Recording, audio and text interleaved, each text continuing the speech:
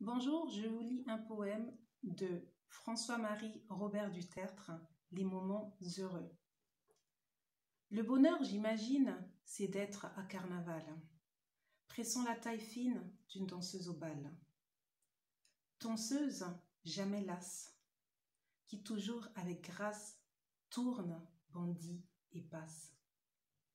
Les yeux étincelants, le sein tremblant de joie, dans un corset de soie qui s'ouvre et se reploie, complice des galants. Le bonheur, c'est encore aux vallons onduleux de voir lever l'aurore au fond des grands yeux bleus d'une blonde bergère, si souple et si légère, que la douce fougère la prend pour un oiseau, et si blanche à l'épaule que le vent qui la frôle s'en souvient jusqu'au pôle et le dit au roseau. Le bonheur, c'est la flamme, la flamme heureuse enfin, qu'allume au fond de l'âme un joyeux séraphin.